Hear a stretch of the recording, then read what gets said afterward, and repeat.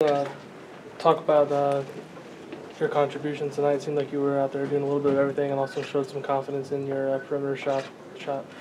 Um, yeah, um, Coach Buck and uh, Nick and these guys make it make it so much easier. They are so concentrated on Yogi and concentrated on all these other guys that can do so much and um, just step up when your time's when your time's ready. All these guys we've been working so hard, um, just getting up extra shots all the time and competing.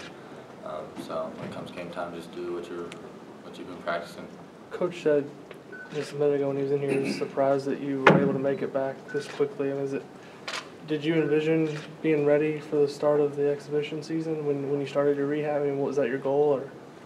Uh, definitely it was. Um, talking with Dr. Elfeld and um, Tim Garlow, that um, they, they really pushed me and um, I was ready for it. And um, all these, all my teammates have really, really helped me get physically where I need to be. Coach Jackson has helped me get physically where I need to be. And um, uh, we go really hard in practice every day, so uh, these guys push us and they make it easier, the game easier for me.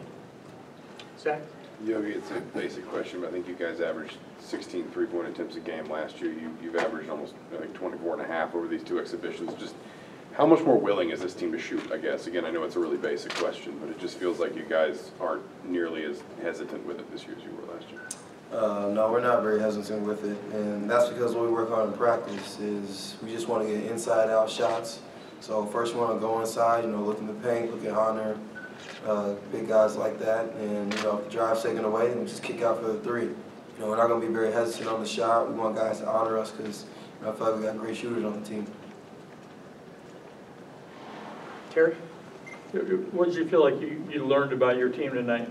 The way that you, you got behind by 11 points early and were able to come back and play? Uh, what I learned about this team is, you know, guys didn't get down. You know, new guys even especially, they didn't get down at all when we were down uh, by almost as 15. You know, guys kept each other up, uh, patted each other on the bus and stuff. So I think that's the biggest thing for us is, you know, to never get down when uh, people go on runs because, I mean, the game is all about runs. So if you just know how to overcome those runs, then we'll be okay. Robert, talk about, uh, I mean, obviously involved in the offense, but nine defensive rebounds is a, is a big number for you. Just talk about your focus on that area of your game today. Yeah, um, well, coming to the game, that was something, you know, we wanted to focus on. We knew that would be a key for this game and basically a key for the season. And uh, really those guys just made it easy for me. Hanner and Collin, they were hitting those guys, so I just was really, you know, going to get the ball and clean it up and made it easy to get rebounds. Zach? Rob, you and James, I mean, you have both, coaches both, has praised both of you, I guess, for your ability, your willingness to attack offensively in these two games. At some level, do you guys feel like it's easier to just embrace a big role because it, it, from Canada to here, it's pretty obvious you guys are gonna need to play a lot of minutes this season? Uh, yeah, I think it's definitely easier, um, just because, you know, we have, we know that we have to be a big part of the team as far as our offense. And, uh, you know, with the type of guys we got, like Nathan Yogi and James, the type of shooters and drivers that we have, you know, we all can make the game easier for each other, you know, from that aspect. So I think, you know, definitely uh, is going to be a key for this season. Pete? Yeah, Robert, the, uh, Coach Crean is talking a little about your competitiveness, and and that's one of the attributes he likes about you. Talk about that? Have you always been competitive, and how much does that help you in this situation, given how young you are? Uh, yeah, um, you know, growing up with three brothers, you know, that was basically always a competition around the house. Um, so I think, you know, coming here with the attitude Coach Crean and his staff have, uh, we, we basically do competition things every day. Um, you know, so when you're going against guys like Yogi and James at certain drills, you know, it just brings the best out of everybody. Alex? Yogi, you've been around Connor as long as anybody, and as far as playing with him and things. Where, what's what's the biggest thing he's improved this offseason, and just from these first two exhibition games? Where do you where do you feel like he seems more comfortable? Um, you know, I think Hanner has improved at attacking the rim. You know, Coach always says be a piranha at the rim, and I feel like he does that offensively and defensively.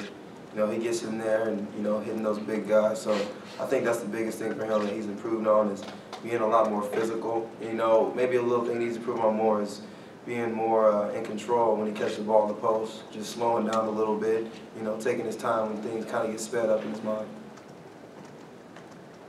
Yogi, what do you kind of see out of Collin during his rehab, and are you at all surprised to see him be kind of more confident, more aggressive already? Um, I'm not really surprised to see him come out there and play the way he did. You know, like he said, he's been shooting with Coach Buck before practice almost every day. So I see him out there. We call him the shot doctor, Coach Buck. So uh, you know, shot doctor get your shot right, that's for sure. So I see him out there every day before practice getting shots up. So you know, all you gotta do is get reps up, reps up, and you got that confidence. You know, he went out there today and showed, you know, what he's been doing and how well he's been doing it. And, uh, you know, he's been in treatment every day, getting better. So, you know, I feel like Collin can be one of those guys that can uh, come in and bang a couple threes for us. Jack, Kind of following up on that, Collin, uh, was there a point in your recovery where you said, okay, wow, I feel ahead of schedule, I feel like I can get back, maybe not specifically for these games, but I can be ready to contribute pretty quickly this season? It's not something that's gonna cost me a lot of this season? I don't think there's any one specific point. Um, Going throughout the rehab and actually the day that it happened, I kept telling myself I'm gonna be back for next season because then there's like a six-month period, six and a half months um, away.